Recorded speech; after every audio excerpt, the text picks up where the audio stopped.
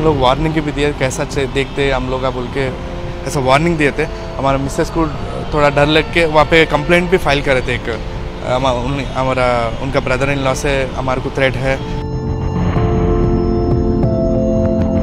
Twenty eighth of मार्च को हमारा Mrs को हमारा घर से मार पीट के लेके गया बोल के। मैं जब भी ऑफ़िस को निकला था नाइन फिफ्टी वो टाइम में टेन टेन वो टाइम में हमारे मिसेस को कोई फाइव सिक्स मेंबर्स आके एक ब्लैक कार में आके मार पीट के लेके गया बोल के, हमारा आजू बाजू वाले बोल रहे थे।